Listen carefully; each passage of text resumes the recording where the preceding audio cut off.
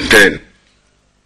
Jeshi la polisi kanda maalum ya Dar es Salaam limewatia mbaroni watuhumiwa 711 wa uhalifu katika maeneo mbalimbali wakiwemo wanaojihusisha na matukio ya uhalifu wa kutumia silaha, vijana wadogo maarufu kama panya road, wezi wa magari pamoja na wanaoingiza sukari kupitia njia za magendo baharini kutoka visiwani Zanzibar. Hamis Suleiman anaarifu.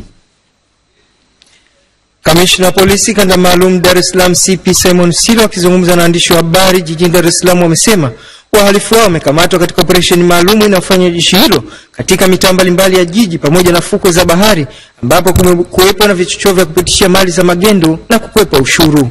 Kwenye operesheni hiyo vile vile tumekamata mpaka mifuko kumi na tano ya sukari kama mnavyoona.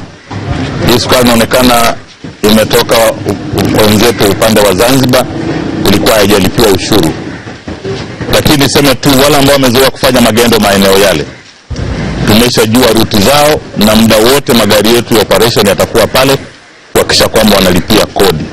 Aidha, kamanda Siro amesema katika operesheni hiyo wamefanikiwa kukamata magunia manne ya bangi, vifaa mbalimbali vya wizi, bunduki zilizotengenezwa kienyeji, risasi pamoja na madumu ishirini ya gongo na mitambo, na mitambo yake ambayo ilikamatwa katika maeneo ya Kawe ambapo pia inamshikilia Rosimele Kiwili mkazi wa Kimara baada ya kujifungua mtoto na kumtumbukiza chooni. Ona kwamba tumefanikiwa kukamata mitambo ya gongo ipatayo mitambo minane, lakini gongo nyingi sana, na maeneo haya ya Kawe na maeneo ya Mabibo ni maeneo anafikiri kuna tatizo.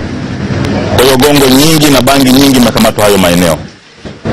Niwaombe tu wenye vitu wa serikali za mitaa kwenye maeneo hayo watusaidie sana. Kazi ya kwanza na ya muhimu kwa wenye vitu wa serikali za mtaa ni swala la ulinzi na usalama kwenye mitaa. Sasa wewe ndio mwenyekiti wa serikali za mtaa, lakini kwenye mtaa wako kunauzwa bangi, kunauzwa gongo kwa wingi sana, kuna mitambo watu wanapika wanapika gongo. Kwa niseme tu kwamba tumegundua hayo maeneo, tutafanya operation ya mara kwa mara.